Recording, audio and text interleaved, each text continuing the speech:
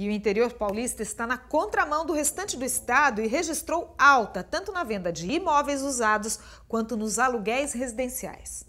O interior paulista é responsável pelo crescimento de 10% nas vendas de imóveis usados no mês de outubro em comparação a setembro. Outras regiões do estado registraram queda de quase 11% no mesmo período.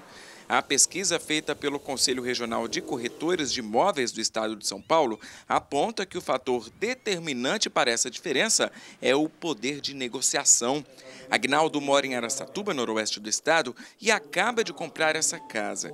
Ele pagou à vista e teve quase 30% de desconto. Se você tiver hoje com o dinheiro para comprar, você consegue comprar um poder bem melhor de negociação bem melhor. E você também está conseguindo vender bem. E é justamente essa informalidade na hora de negociar um imóvel, aliada ao crescimento do número de carteiras assinadas, que ajudam a elevar as estatísticas do interior paulista. Cresceu o emprego formal, o financiamento sai. E os bancos todos estão ávidos por emprestar dinheiro. Os bancos estão financiando o tomador final, mas não o produtor e com isso eles enfrentam dificuldades. E pela falta de novos lançamentos, principalmente do Minha Casa Minha Vida, o que sobra para as pessoas é alugar.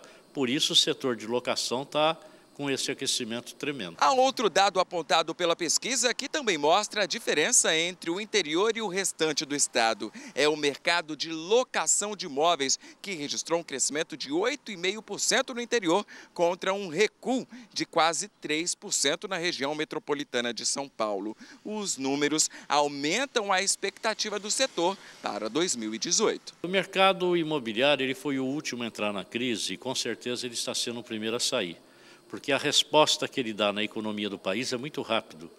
Qualquer dinheiro aplicado no mercado imobiliário, em 30, 60 dias, ele já deu o retorno para a sociedade. Então, tudo indica, e principalmente pelo potencial que a equipe econômica do governo está dando ao mercado imobiliário, nós vamos ter uma grande recuperação. E caso aconteça o crescimento esperado de 2,5% a 3% o ano que vem, com certeza absoluta vai faltar imóvel e vai faltar gente nesse mercado de trabalho.